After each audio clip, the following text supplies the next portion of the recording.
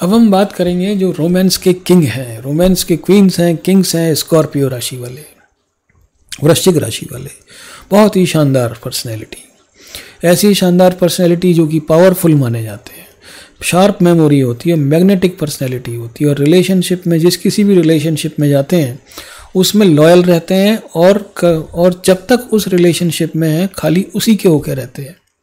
जब तक इनको दूसरा ही जाने के लिए ना बोले। तो लॉयल होते हैं, बिल्कुल, लेकिन कई बार थोड़ा सा अनरीजनेबल भी हो जाते हैं। तो आपके लिए पेश करते हैं, ये कौन आपसे कहता है कि तुम्हारे बिना मेरी ज़िंदगी अधूरी है? तो जो मेष राशि से शुरू करते हैं आपके लिए एरीज से। एरीज राशि वालों के साथ में एक अच्छा लॉन्ग लंग लॉन्ग रिलेशनशिप बनेगा आपका, लंबा रिलेशनशिप बनेगा। और जो आपकी तरफ़ अट्रैक्टेड भी होंगे काफ़ी हद तक, लेकिन आपके साथ संबंध में थोड़ी सी आपसे दूरी भी बना के रखेंगे। और ये आपको नहीं बोलेंगे कि भाई तुम्हारे बिना मेरी ज़िंदगी अधूरी है। लेकिन जो टॉरस है, टॉरस जो है वो एक तरीके से जो टॉरस यानी कि वृषभ राशि है, वो बिल्कुल आपके साथ में एक वो जीने मरने की जो है वो कसमें लेकर के आया है आपके साथ में। और वो आपके साथ में जो है बिल्कुल एक तरीके से काफ़ी लंबा समय वक्त बिताना चाहता है। हो सकता है टॉरस को आपकी तरफ़ से कुछ खास कुछ चीज़ें मिली हों, आपने उनको सहारा दिया हो वो आपसे खुल के बोलेंगे कि भाई हाँ मैं ये मानता हूँ या मैं ये मानती हूँ कि आप जो है मेरी ज़िंदगी हैं और और तुम्हारे बिना ज़िंदगी जो है वो अधूरी थी या अधूरी है।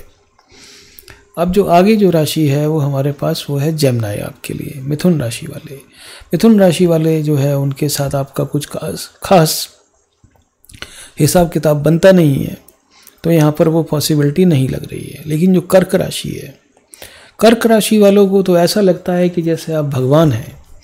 कर्क राशि वाले किसी को भगवान नहीं मानते, सिर्फ़ आपके अलावा। है ना?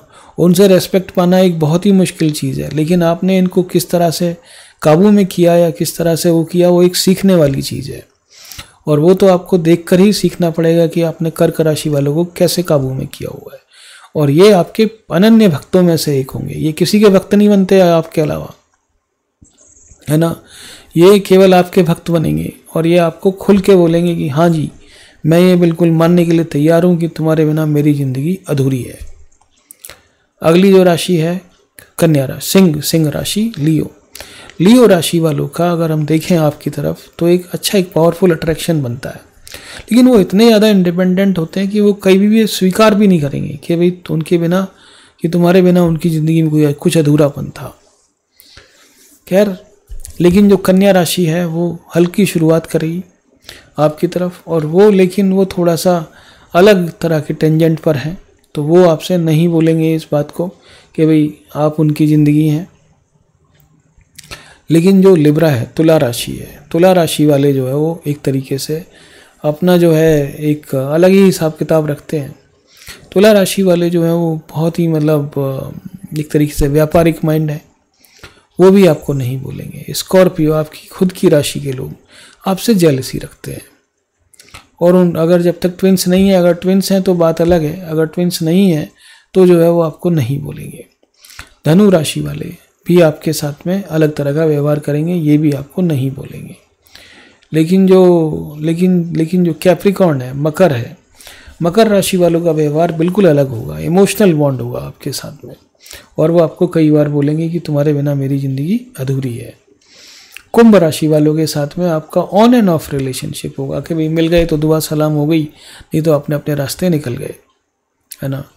लेकिन जो मीन राशि है, वो आपके साथ में सोलमेट वाली कंडीशन में है। उनको ये लगता है कि आप अगर उनकी ज़िंदगी में नहीं हो तो उनकी ज़िंदगी खाली है। और मीन राशि वालों को एक खालीपन अच्छा नहीं लगता है। तो आपसे वो कई बार बोलेंगे, आपको कई बार एहसास भी दिलाएँगे कि हाँ मुझे स्वीकार करने में कोई प्रॉब्लम नहीं है कि तुम्हारे बिना मेरी ज़िंदगी अधूरी है, अधूरी थी और अधूरी रहेगी। हमारा चैनल आप सब्सक्राइब कर लें।